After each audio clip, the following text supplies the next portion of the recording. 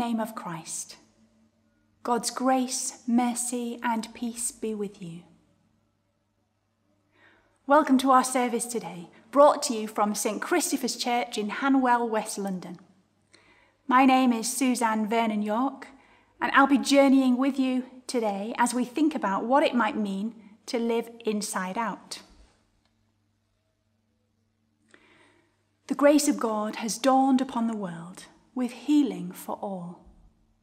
Let us come to God in sorrow for our sins, seeking healing and salvation.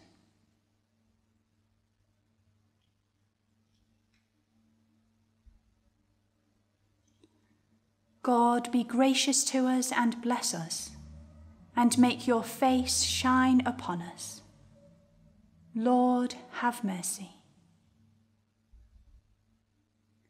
May your ways be known upon earth, your saving power among the nations. Christ, have mercy. You, Lord, have made known your salvation and reveal your justice in the sight of the nations.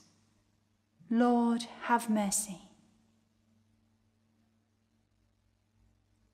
May Almighty God have mercy on us forgive us our sins, and bring us to everlasting life.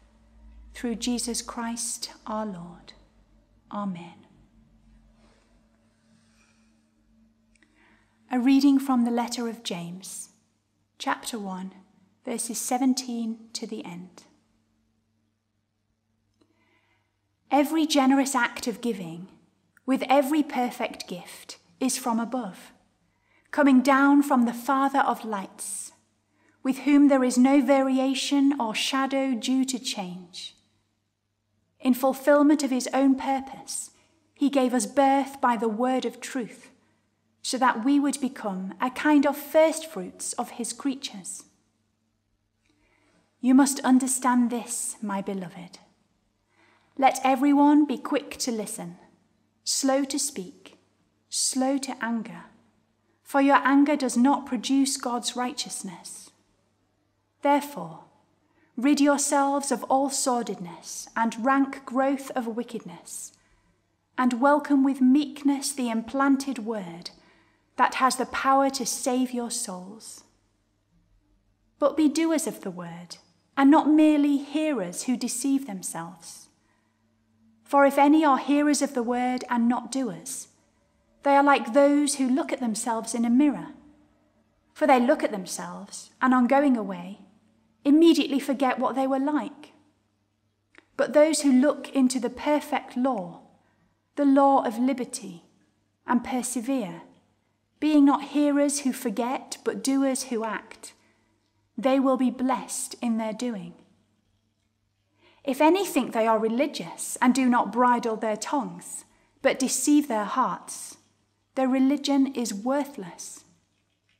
Religion that is pure and undefiled before God the Father is this to care for orphans and widows in their distress, and to keep oneself unstained by the world. This is the word of the Lord. Thanks be to God.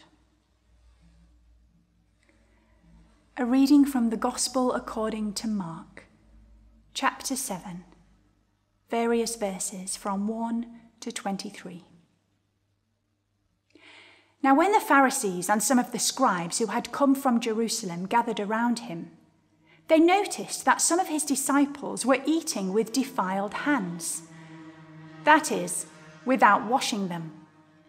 For the Pharisees and all the Jews do not eat unless they thoroughly wash their hands thus observing the tradition of the elders. And they do not eat anything from the market unless they wash it. And there are also many other traditions that they observe the washing of cups, pots, and bronze kettles. So the Pharisees and the scribes asked him, Why do your disciples not live according to the tradition of the elders, but eat with defiled hands? He said to them, Isaiah prophesied rightly about you hypocrites. As it is written, This people honors me with their lips, but their hearts are far from me. In vain do they worship me, teaching human precepts as doctrines. You abandon the commandment of God and hold to human tradition. Then he called the crowd again and said to them, Listen to me, all of you, and understand. There is nothing outside a person that by going in can defile, but the things that come out are what defile. For it is from within, from the human heart, that evil intentions come fornication, theft, murder, adultery, avarice, wickedness, deceit, licentiousness, envy, slander, pride, folly. All these evil things come from within and they defile a person. This is the word of the Lord. Thanks be to God. Namaste. You might be wondering why I'm sat on a bike with my clothes inside out, with Buddhist prayer flags behind me and a bandaged knee.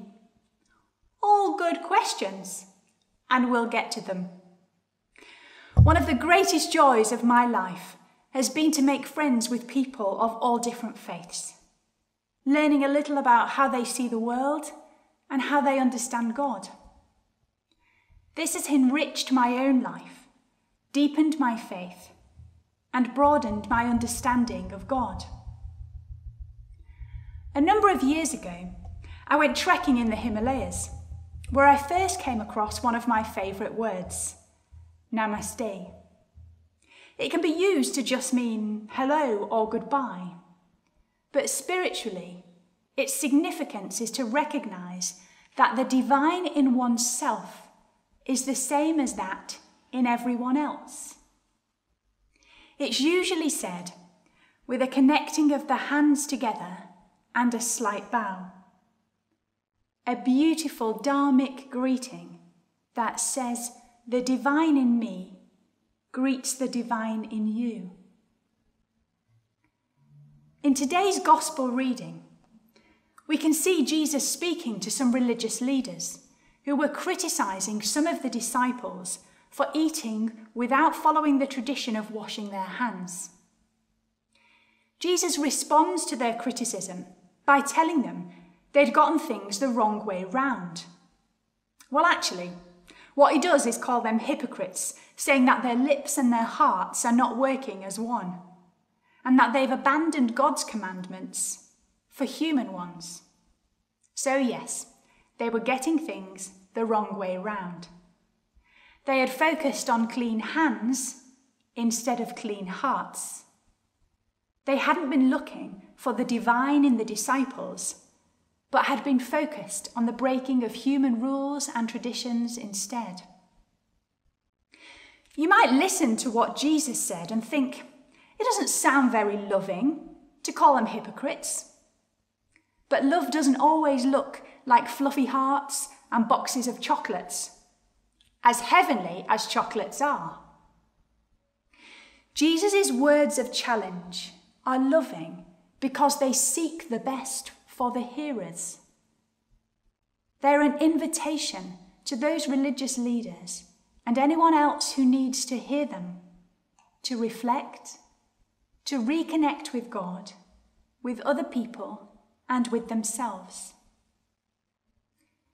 Jesus, in his no messing about kind of way, gives them a divine perspective, which in turn offers them the opportunity to reflect on it to grow in understanding, and to make a choice to live inside out. Jesus is saying that it isn't accidentally eating a germ on unwashed hands that is the problem, but what comes out of the heart in the behaviour and attitude of the person. The heart is crucial here. All that flows out of a person stems from what lies within. It's not the only time religious people don't come out of a story too well after judging the behaviour of others instead of looking at their own hearts. The reading from the letter of James talks about any who think they are religious but deceive their own hearts, having a religion that is worthless. while one that is pure before God is a religion that leads to acts of compassion. While the roots of the word religion are unclear, I quite like the interpretation of the word re to mean again and ligare meaning connect. So to do religion is to again connect or to reconnect. One of my favourite theologians, Richard Rohr, talks of religion as religio, to religament. I don't know about you, but I remember learning about tendons and ligaments in school, and I remember trying to learn the difference between them by thinking that ligament begins with L and connects like to like, bone to bone, whereas tendons attach muscle to bone, which are not alike. In a world where all created things are made of God, to reconnect, to religament, to do religion, is to reconnect like with like. The greatest commandments are to love God and to love your neighbour as yourself. For me, loving then becomes reconnecting with God and all things made by God, including the planet. Loving your neighbour becomes reconnecting with others, remembering all are made in the image of God, with the divine light within them. Whatever their religion, colour, nationality, sexuality, gender, or anything else. We are all connected, all made of God, all loved by God, without exception. However hard anyone might find that to accept, it is God's perspective. If we're Christians, we know this because we're told in John 3:16, "For God so loved the world that he gave." God loved the world not the church, not some of us, not just the ones who look like us or think like us, but the whole world. And of course, if we're to love our neighbours as ourselves, we are to love ourselves, to reconnect with ourselves, to understand our worth. That can include taking what Jesus offered the religious leaders opportunity to listen to God's perspective to reflect on it, and to grow. A few years ago, I had to literally reconnect with myself when I snapped a ligament in my knee. I had to have ligament reconstruction surgery. I was on another world adventure, okay, so I might be a little bit obsessed with the world. I was mountain biking in beautiful Peru as part of a high jungle trek to Machu Picchu when I fell off the bike and snapped my ACL, my anterior cruciate ligament. In repairing it, they had to religament my knee, make a new ligament, connecting like with like. Interestingly, the broken one is one of a pair of ligaments that are called cruciate because they make a cross shape. Now, within my own body, I carry a reminder of Jesus on the cross, the cross being a place of both brokenness and healing, a place of reconnecting all of creation to God. Jesus carried the marks of brokenness and healing in his resurrected body. Our own bodies very often carry brokenness and healing too. They're connected. In Jesus' loving resistance to the disconnect of the religious leaders, he invites them and us to think differently in a way that could transform their lives, to be liberated from living outside in and instead to live from the inside out, acknowledging God within and making space for God to flow out. It's an invitation to let the divine flow in you and through you. It's an invitation open to all in the usual style of God, without exception or exclusion. Namaste.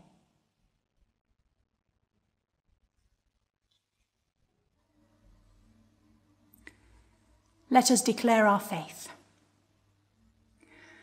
We believe in God the Father, from whom every family in heaven and on earth is named. We believe in God the Son, who lives in our hearts through faith and fills us with his love. We believe in God the Holy Spirit, who strengthens us with power from on high. We believe in one God, Father, Son, and Holy Spirit. Amen.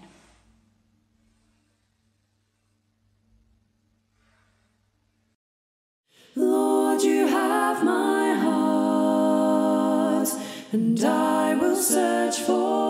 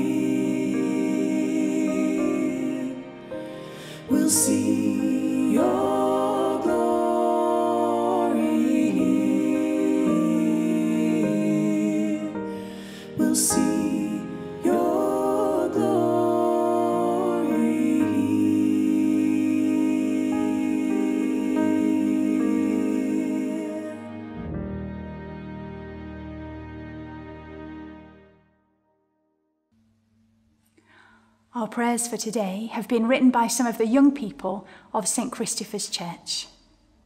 Let's pray.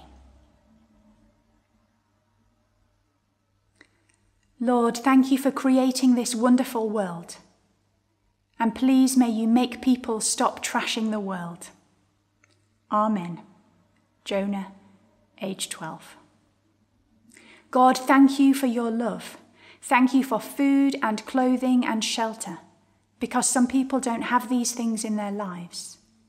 Thank you for your protection and for forgiving us. Amen. Salara, age 11. Jesus, we pray for people who do not have food, water, and a place to live. Help them and give them what they need to survive, and that they have enough money. Amen. Anthony, age 5. Lord, we pray that you keep our young people safe, that you give them the opportunities to live their lives, be free, be happy, have fun, have time to live in a world without fear or worry, and to work together to create a better world for the next young people. Amen. Jacob, age seven and three quarters. Dear Lord, we pray for the churches that are suffering. Pray for your strength for the church leaders. We pray for the persecuted church across the world. Amen. Olivia Jane, age 10. O Lord, thank you for letting us survive the days and nights. Thank you for letting us be healthy. Thank you for protecting us from evil. Help us to do the right thing in life before your eyes. Amen. Elias, age 10. Merciful Father, accept these prayers for the sake of your Son, our Saviour, Jesus Christ. Almighty God, who called your church to bear witness that you are in Christ reconciling the world to yourself, help us to proclaim the good news of your love, that all who hear it may be drawn to you, through him who was lifted up on the cross and reigns with you in the unity of the Holy Spirit, one God, now and forever. Amen. As our Saviour taught us, so we pray. Our Father in heaven, hallowed be your name. Your kingdom come, your will be done, on earth as in heaven. Give us today our daily bread. Forgive us our sins, as we forgive those who sin against us. Lead us not into temptation but deliver us from evil. For the kingdom, the power, and the glory are yours, now and forever. Amen. May God, who has loved us from before the world began, make our lives a blessing to others through the power of Christ. And the blessing of God Almighty, the Father, the Son, and the Holy Spirit be among you and remain with you always. Amen.